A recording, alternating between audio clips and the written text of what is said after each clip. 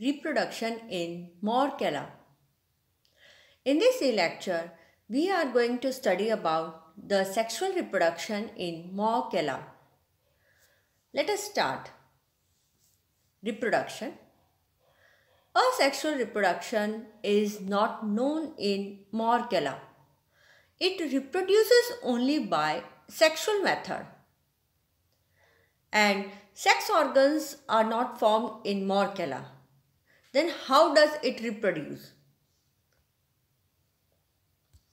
It reproduces by the process of plasmogamy and karyogamy. Sexual reproduction occur by following step. The first step is the plasmogamy, means the fusion of the protoplast of two cells. And then karyogamy means the two nuclei fuse. Let us study in detail. Plasmogamy. In plasmogamy, the protoplast of two fusing cells mix with each other and all nuclei are transferred to one cell. These nuclei do not fuse and they pair to form a dikaryon thus establishes dikaryophase. Now there are two ways by which plasmogamy occur. First one is the somatogamy and the second one is the autogamy. In somatogamy, there is a fusion of two somatic cells of different hyphae. While in autogamy, there is fusion, uh, there is pairing of two nuclei. There is a pairing of two nuclei of same cell. The next step is the karyogamy. In karyon, karyon, karyon means nucleus. Gamy means fusion. Thus in karyogamy, the two nuclei of the dikaryon which is present in ascus mother cell, they fuse to form a diploid nucleus and this diploid nucleus is known as synkaryon. Thus, in sexual reproduction in Morchella, two stages plays a very important role. The first stage is the plasmogamy and the second important stage is the karyogamy. In plasmogamy, there is a pairing of nuclei and they pair to form dikaryon and there there are two methods by which pairing of nuclei occur. First one is the somatogamy means fusion of two somatic cells and in autogamy there is a pairing of two nuclei of the same cell. Let us study this plasmogamy in detail. Stages in somatogamy. First we will study the somatogamy. In somatogamy, as we see that in somatogamy, there is a pairing of nuclei of two different hyphae. Thus, there are two different hyphae, hyphae A and hyphae B. The two somatic hyphae of the subhymeneum region A and B come in contact with each other. These somatic hyphae comes in contact with each other. As they comes in contact with each other, the intervening walls between these two hyphae gets dissolved. And the protoplast of both the cells mix freely. Now, next step is the two nuclei, one from each cell, pair to form a dikaryon. Here, the dikaryon is formed. Now, the remaining nuclei except the dikaryon degenerate. This, thus the dikaryon stage gets established and in these cells only the dikaryon nucleus exist and remaining nuclei degenerate. This dikaryotic cells give rise to many ascogenous hyphae and the tip of this ascogenous hyphae function as ascus mother cell.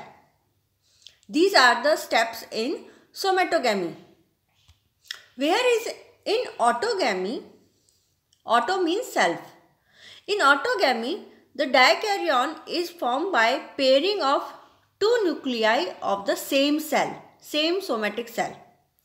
And the remaining nuclei degenerate. Now this cell contains only the dikaryon. The dikaryotic cell give rise to many ascogenous hyphae. These are the ascogenous hyphae. And the terminal cell of the ascogenous hyphae function as ascus mother cell. Formation of ascus and ascospore. As we have studied that the plasmogamy occur by two ways, somatogamy and autogamy. And through the somatogamy or autogamy, the dikaryon phase gets established and ascogenous hyphae arises from the dikaryon cell and the terminal cell of the ascogenous hyphae function as ascus mother cell. Now in ascus mother cell, this ascus mother cell elongates to form a cylindrical structure and this ascus mother cell now function as ascus. The two nuclei or dikaryon present in ascus mother cell fuse to form a diploid nucleus which is known as synkaryon. And this synkaryon nucleus now undergoes meiotic division to form four nuclei. Meiotic division, four nucleus eh, gets produced and these four nuclei again divide by mitotic division to form eight nuclei and these nuclei arranged in a row. These eight haploid nuclei secrete a thin wall around themselves and develops into an ascospores. These ascospores are released from the ascus by the removal of the apical lid. They are disseminated away by wind and they germinate on suitable substratum with the help of germ tube and produce new mycelium. Thus, in this way, in Morchella, sexual reproduction occur and the sexual reproduction occur by the way of plasmogamy and karyogamy. Morchella life cycle. As we have studied that in Morchella, the plasmogamy occur by two ways, autogamous pairing or somatogamous copulation or somatogamy. And by these two ways, dikaryon phase get established, means a dikaryon nucleus uh, or two nuclei present in a single cell. This stage is known as dikaryon stage or process is known as dikaryotization. From this dikaryon cell, ascogenous hyphae arises and the terminal cell of the ascogenous hyphae function as ascus mother cell. In ascus mother cell, karyogamy occur. Karyogamy means fusion of the two dikaryon nucleus occur. As a result, synkaryon is formed. And now the ascus mother cell after the karyogamy, the ascus mother cell elongates to become an ascus. In ascus, meiosis, meiosis occur and as a result of meiosis, four, ascus, four nuclei are formed and these four nuclei again divide mitotically to form eight ascospores.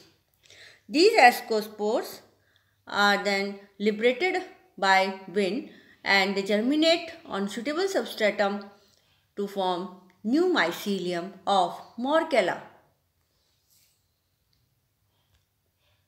For further readings, I would like to suggest a textbook of botany by Singh Pandey Jain. Thank you for watching.